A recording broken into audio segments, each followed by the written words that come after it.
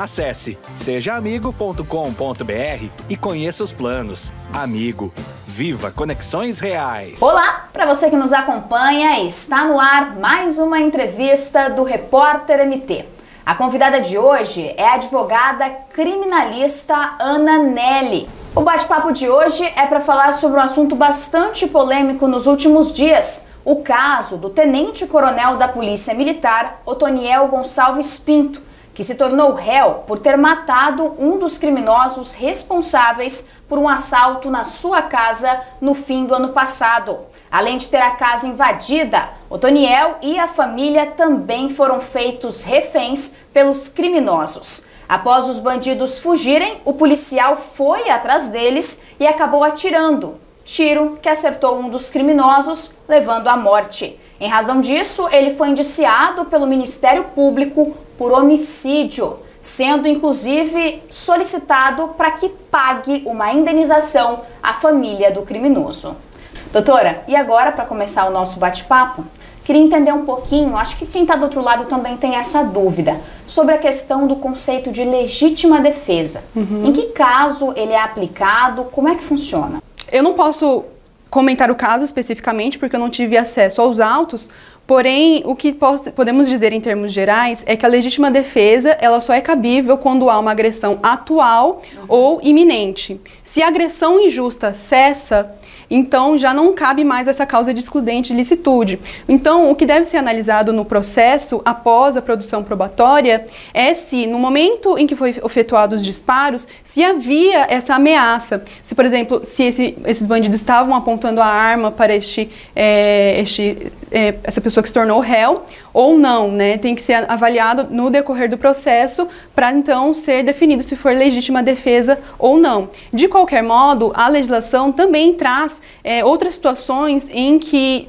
privilegia o réu que, apesar de não ter atuado em legítima defesa, atuou é, sob uma influência de uma forte emoção que foi é, injustamente provocada pela vítima. Uhum. Então é o caso, por exemplo, de um, um, homicídio privilegiado, que é chamado pela doutrina, né? É o, é o artigo 121, parágrafo 1 em que pode ser diminuída um sexto a um terço da pena, se for esse o caso. Como o bandido ele já estava indo embora da casa da vítima, que no caso até o momento era o policial, e até o ponto que a gente sabe que foi divulgado, ele não teria atirado contra o policial. Ele estava indo embora, estava fugindo do local do crime, onde ele havia roubado algumas, algumas, alguns pertences já do policial. E nesse momento o policial correu, conseguiu pegar a arma que estava dentro de casa e atirou contra o criminoso. Inclusive, parece que o tiro pegou na, na coluna, uhum. então ele estaria de costas. Uhum. É, basicamente, é como se nesse caso a, a legítima defesa ela não fosse aplicada, porque não estava em, em, em risco iminente de fato, o atirador não. não o, o, bandido não demonstrava risco para o policial. Então é por isso que, inclusive, ele pode estar sendo julgado e condenado réu pelo Ministério Público. Em, em linhas mais, mais, mais genéricas. É. Isso, isso. Bom, nesse caso, tem que ser avaliado, inclusive, por exemplo, quando há um assalto na casa de uma pessoa essa pessoa com certeza fica é, em estado de alerta, de urgência, choque. de emergência, de choque, Sim. e ela não tem noção, por exemplo, quantas pessoas estão dentro da casa para fazer o assalto. Então, se, é, por exemplo, ele na, é, estava passando por uma agressão imaginável, existe a figura também da legítima defesa putativa, que é o seguinte: é, pode ser que a agressão não era atual ou iminente, uhum. mas por ele não saber é, de fato se a agressão estava ocorrendo ainda ou não, por não saber, por exemplo, quantos bandidos haviam na casa, se ainda havia essa atual iminência da, da ameaça, é, pode ser aplicada ao caso da legítima defesa putativa, que é o mesmo efeito da legítima defesa, uma causa excludente de licitude por um erro cometido pelo agente, mas que se fosse verdadeiro seria plenamente justificável. Outra coisa que nós temos que analisar é que um, os crimes dolosos contra a vida, eles são submetidos ao rito do tribunal do júri. Uhum. Então, quem vai julgar são representantes da sociedade. São sete jurados, certo? No júri popular, que vai avaliar a situação e eles têm soberania certo? Eles têm esse princípio da íntima convicção. Então, ainda que um júri entenda que houve nesse caso a materialidade do fato, ou seja, de fato houve um homicídio e de fato é, o réu é o, o autor deste fato, ele ainda tem a, a, autonomia de absolver o réu, se assim entender, porque o júri representa a sociedade e os valores que essa sociedade tem. Então, o júri que é, se, se, se, esse caso de fato for levado a júri, ele tem essa possibilidade de entender que, apesar de ter sido cometido um homicídio, é, nós, sociedade, entendemos que nesse caso foi por um valor social relevante e nós decidimos absolvê-lo. Isso é uma, uma, possibilidade. Independente se foi um homicídio em legítima defesa ou não, a tendência é que sempre vá para um tribunal do júri pelo fato de ter sido um homicídio. Isso. É, o, o tribunal do júri, é, ele é um rito de duas fases. Uhum. Então, é oferecida a denúncia pelo Ministério Público e para que seja ofertada a denúncia, é necessário tão somente é, a prova da matéria materialidade, ou seja, de fato houve um crime e se há um corpo é, existe essa materialidade uhum. e indícios de autoria, ou seja, há indícios de que aquela pessoa é a responsável por este crime.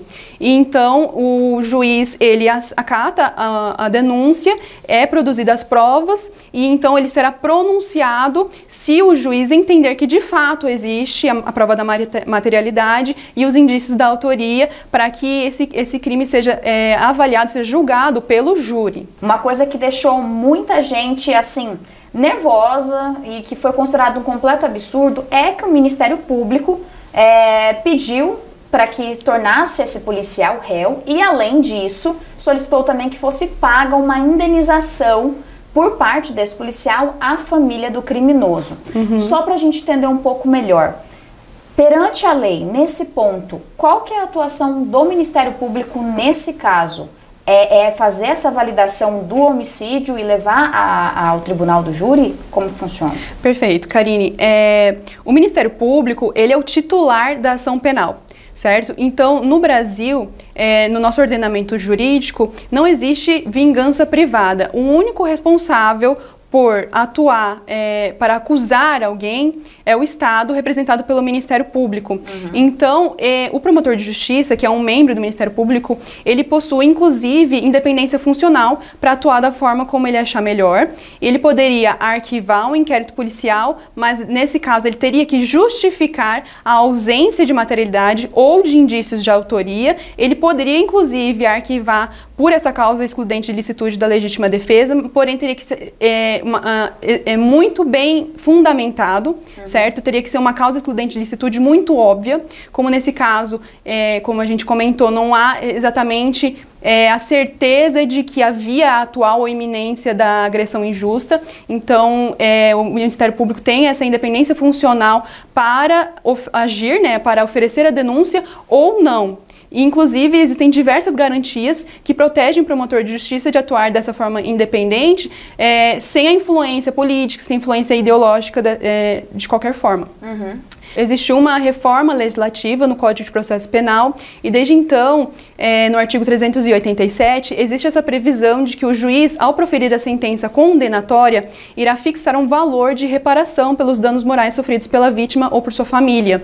Uh, é, os tribunais entendem que para isso é, o Ministério Público deve realizar esse pedido. No meu entendimento, o Ministério Público não é obrigado a fazer esse pedido, entendeu? Então, de fato, é, fica a critério do promotor de justiça que atua com independência funcional fixar esse valor, que pode ser, inclusive, com, é, conforme o entendimento do Supremo Tribunal Federal, um dano moral coletivo, porque uhum. um crime, de fato, causa um choque para toda a sociedade.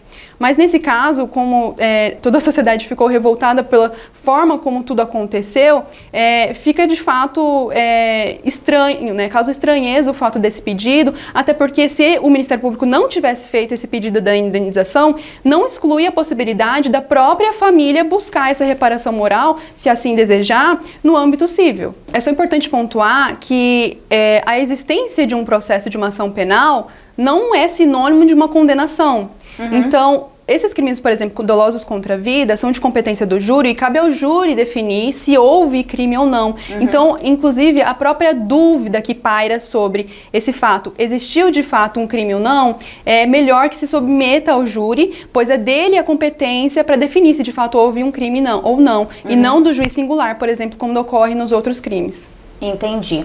Então, é, falando nessa situação de uhum. confronto entre policiais e bandidos, e que neste momento um criminoso, um bandido acabe morrendo por conta desse confronto, quais são as consequências legais que recaem sobre os agentes de segurança nesse momento? Perfeito. O que eles devem responder? Pelo que devem responder? Tá.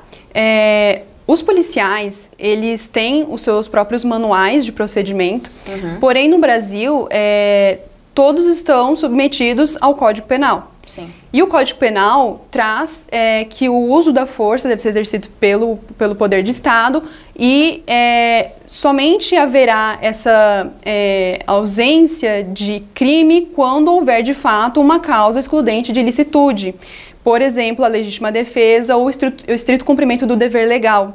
Então, para que um policial em uma situação de confronto não venha a ser responsabilizado criminalmente, ele tem que agir de acordo com aqueles critérios que eu havia começado, é, mencionado no começo da entrevista, que é agir com os, o, moderadamente, né, com os usos é, ne, realmente necessários para repelir uhum. essa agressão injusta, é, de uma ameaça real ou iminente, é, para proteger direito próprio ou alheio. Então, o policial ele só deve atirar de fato quando é, ele está numa situação em que há um risco real de sua própria integridade ou de uma pessoa que é feita refém ou de um terceiro, um cidadão. Ou seja, é, quando há de fato um, um movimento brusco ou um, uma arma que é apontada para ele, certo? Então é nessas situações de confronto. Inclusive, é, a lei, o pacote anticrime alterou é, e trouxe um parágrafo no artigo 25 que trata a respeito da legítima defesa para deixar isso muito bem expresso, que os agentes policiais, quando agem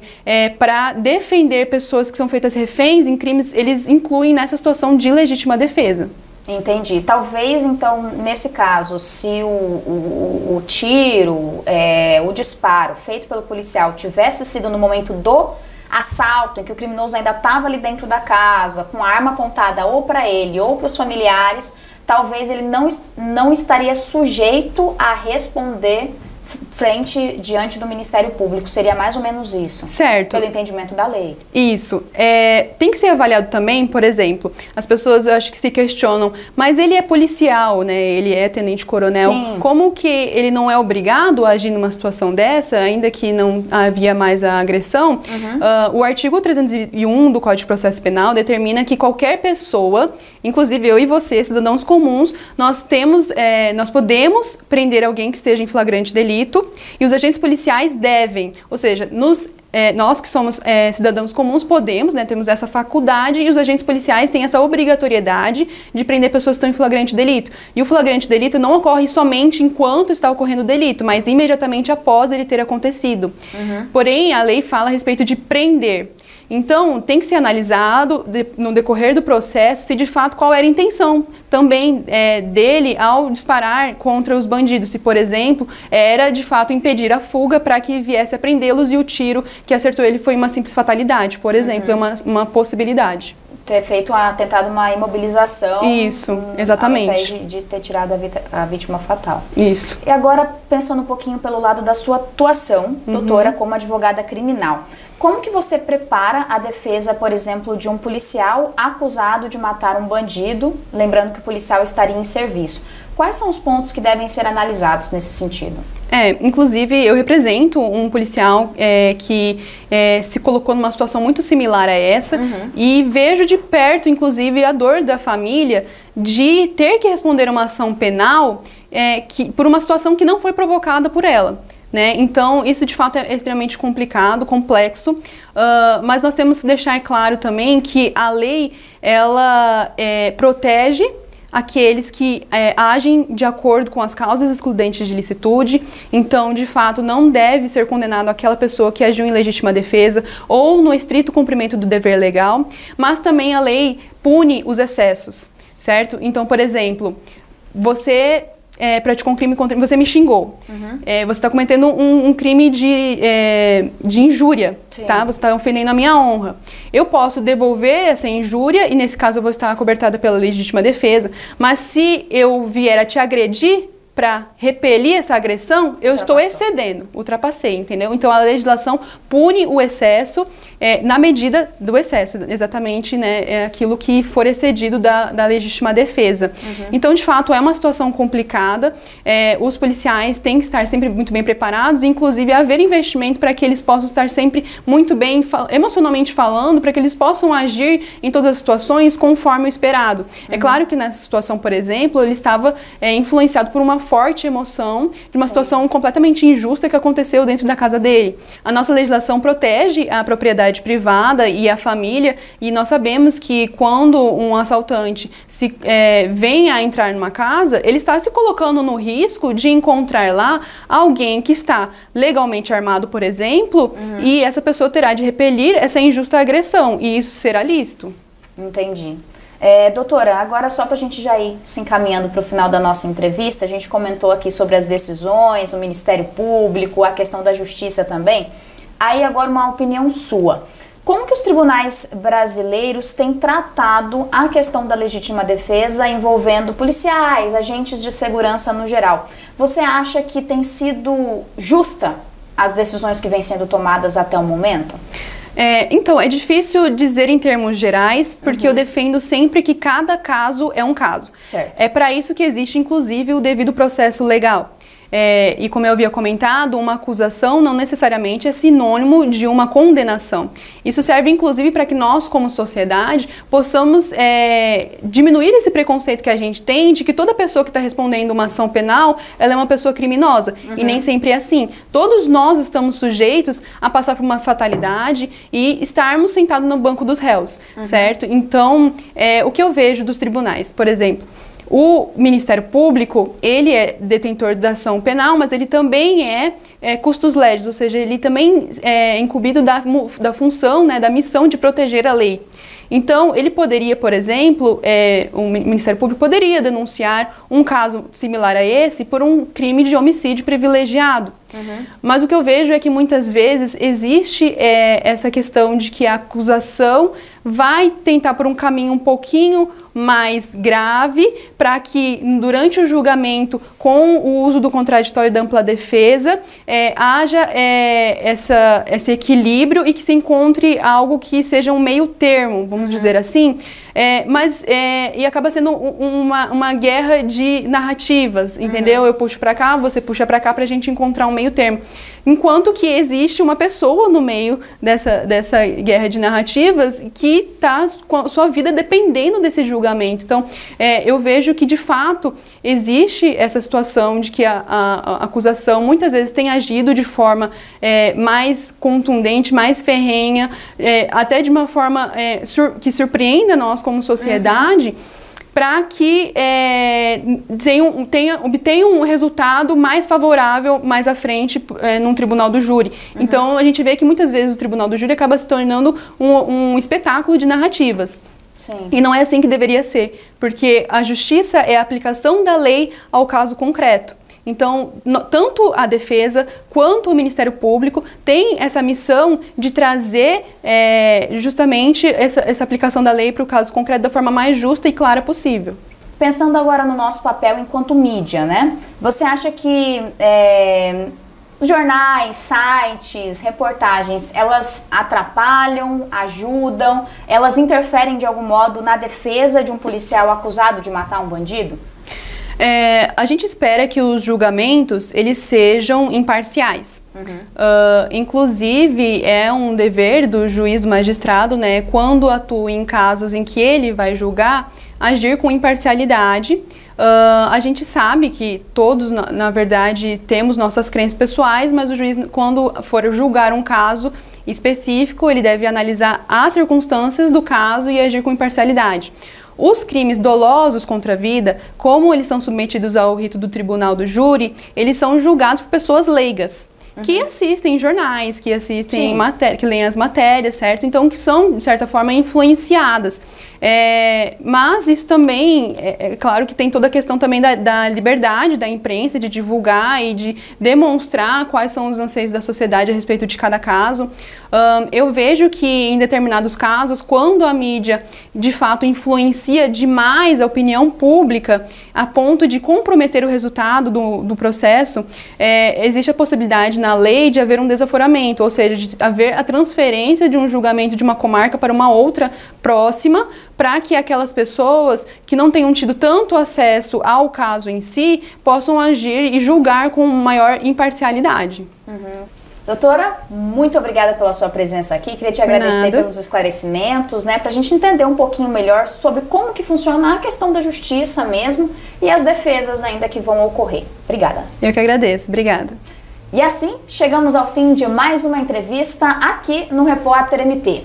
Esses e outros conteúdos você confere no site repórtermt.com. Até a próxima!